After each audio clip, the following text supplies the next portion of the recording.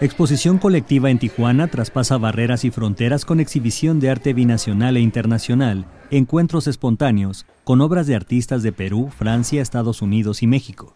El artista plástico Enrique Chu comentó que los artistas de diferentes partes del mundo como Argentina, Texas y Honduras le envían sus obras para participar en la exhibición del Instituto Municipal de la Mujer en Tijuana, Baja California.